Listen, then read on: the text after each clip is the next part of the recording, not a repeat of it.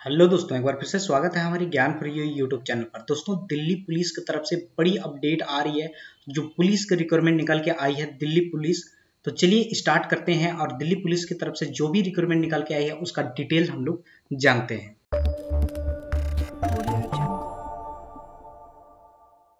Delhi police का जो website में जाने के लिए लिंक आप लोगों को यहाँ पे देख सकते हैं, Delhi police dot N I C dot in मैं डिस्क्रिप्शन में दे दूँगा, आप लोगों को कोई दिक्कत नहीं होगी।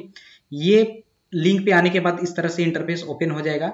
उसके बाद यहाँ पे देखिए रिक्वायरमेंट का ऑप्शन दिखाई दे रहा है। यहाँ पे क्लिक करेंगे तो सबसे पहला वाला जो दिया गया है direct requirement for the post head constable इस पर मैं क्लिक करता हूँ। तो हम लोगों को एक पीडीएफ डाउनलोड होकर सामने में आ जाता है, जहाँ पे डिटेल हम लोग को मिल जाएगा। मैं थोड़ा सा इसको जूम कर लेता हूँ और आप लोगों को दिखा देता हूँ। देखिए, दिल्ली पुलिस दिया गया है यहाँ पे।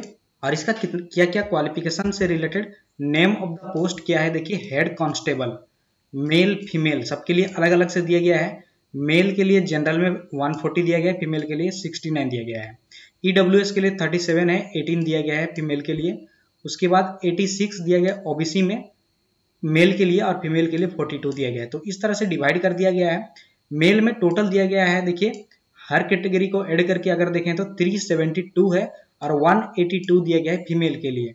सब वैकेंसी मिला के हो जाता है 154 वैकेंसी निकल के आती है।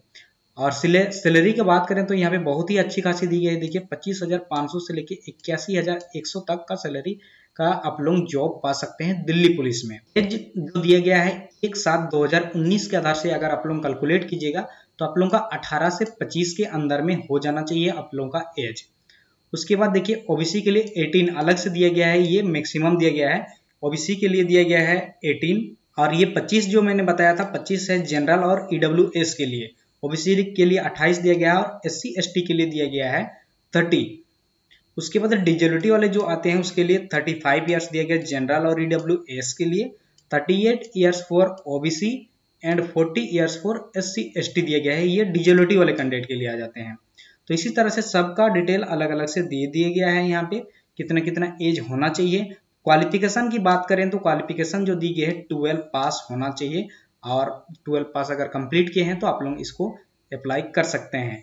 इसके बाद आप लोगों का टाइपिंग वगैरह भी दिए गए। देखिए, थर्टी डब्ल्यू और हिंदी के लिए ट्वेंटी फाइव डब्ल्यू इंग्लिश के लिए भी और हिंदी टाइपिंग दोनों ही आप लोगों को आना चाहिए।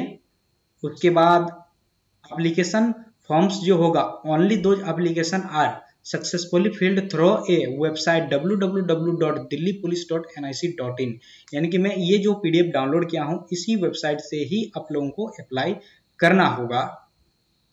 उसके बाद फ़ी की बात करें तो फ़ी यहाँ पे दिया गया है हंड्रेड रुपीज़ दिया गया है और एस सी एस टी और ex serviceman person with disability ये सब के लिए नहीं दिया गया है, कोई पेमेंट यहाँ पे देखिए तो यहाँ पे सिर्फ़ जनरल ओबीसी ये सब के लिए हंड्रेड रुपीज़ दिया गया है, बाकी सबके लिए नहीं दिया गया है, आप लोग फ्री में इसको अप्लाई कर सकते हैं, और मैंने जैसे आप लोगों को दिखाया सैलरी एटी वन थाउज़ेंड तक का जॉब पा सकते हैं।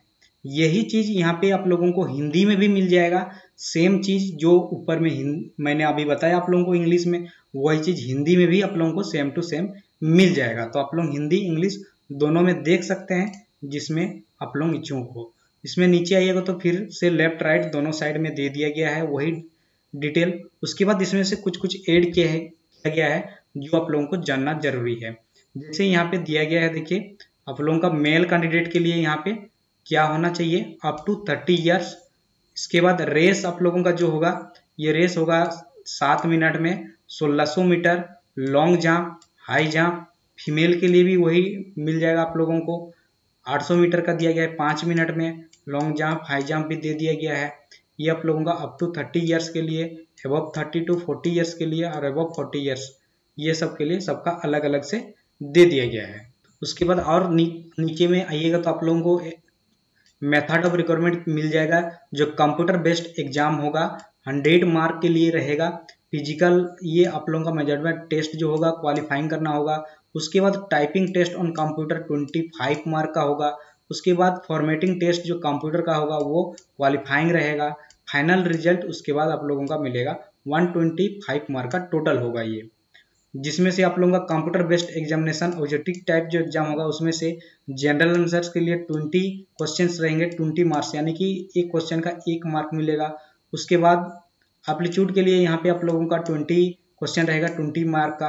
इसी तरह से सबका डिवाइड किया गया है। सब में अगर कंप्यूटर में आप लोग देखें तो कंप्यूटर में कंप्यूटर फंडामेंटल यानी कि बेसिक चीज़ पूछेगा आप लोगों का कंप्यूटर से रिलेटेड उसके बाद M X excel M X word communication internet W W web browser ये सबसे रिलेटेड आप लोगों का क्वेश्चन पूछेगा। टोटल आप लोगों का हंड्रेड क्वेश्चन रहेगा हंड्रेड मार्क में। डेढ़ घंटा का एग्ज़ाम है हुआ, देखिए, दिखाई दे रहा है, यहाँ पे नाइन्टी मिनट का एग्ज़ाम रहेगा, जिससे आप लोगों को तैयारी करने में भी इजी होगी, सारा टॉपिक दे दिया गया है। वर्ड में आप लोगों का क्या क्या टॉपिक रहेगा, वो चीज़ भी यहाँ पे दे दिया गया देखिए। वर्ड का क्या क्या टॉपिक रहेगा पावर पॉइंट का क्या क्या टॉपिक रहेगा, नीचे आइएगा तो और भी आप लोगों का एक्सेल का क्या क्या टॉपिक रहेगा, सब कुछ डिटेल में दे दिया गया है। इसमें पीडीएफ बहुत ज़्यादा बड़ा है फोर्टीन पेजेस का है। नीचे यहाँ पे एक एक लाइन अगर पढ़ने जाए तो अभी बहुत ही बड़ा हो जाएगा। हिंदी में भी सब कुछ डिटेल दिया गया है। तो ये सब डिटेल आप लोग पढ़ने के लिए डिस्क्रिप्शन में जाएँ। और वहाँ पे मैं लिंक दे दूँगा डायरेक्ट क्लिक कीजिए डाउनलोड कीजिए और अच्छी से एक बार पढ़ लीजिए। हिंदी, इंग्लिश दोनों में दिया गया है, जिससे आप लोगों को कोई दिक्कत नहीं होगी। तो चलिए वीडियो को यहीं पे खत्म करते हैं। वीडियो ऐसे भी थोड़ी लंबी होने जा रही है। आशा करता हूँ आप लोगों को ये इन्फॉर्मेशन अच्छी लगी होगी। अच्छी लगी तो ज़रूर से लाइक कर दीजिए शेयर कर दीजिए। इसी तरह का नोटिफिकेशन अगर डेली पाना चाहते हैं तो चैनल में बने रहें सब्सक्राइब करें चैनल को और साथ ही साथ बेल घंटे को भी दबा दें। Thank you